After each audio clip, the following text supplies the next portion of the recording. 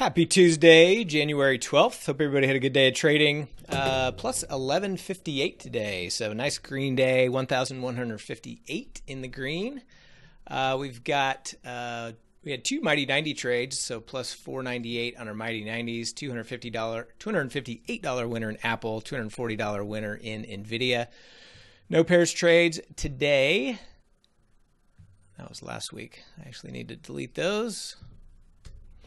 Uh, on the runner front, had three trades, all three winners, so no losers today, which is fantastic. PTON plus 490, Roku small winner plus 55, and DKNG 115.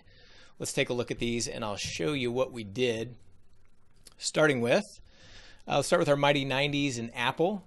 So Apple had this big flush lower, broke through the lows of the day, so we got long right here kind of chopped around a little bit and then it finally popped up and we just took a little winner out of that. So plus 258.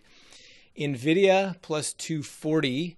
Uh, this one had this big flush lower. We got long right in this area and caught this little bounce. We didn't stay in this long because we we thought it was going to roll over, and so we just we took a quick profit, uh, but booked 240 on that one. So good trade in Nvidia.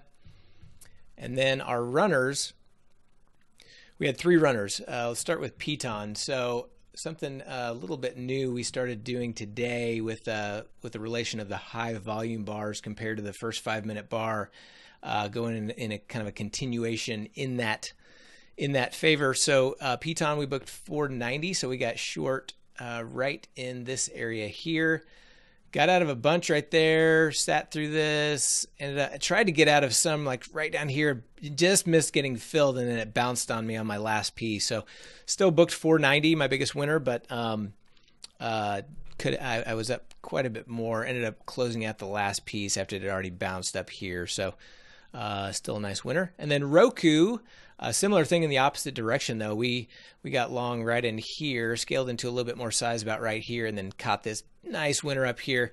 Got out of three quarters of our position at the top, near the top, uh, and then it, came back down. We added a little bit, and then it just kind of chopped around. I ended up just closing it out right here. I thought it might break lower.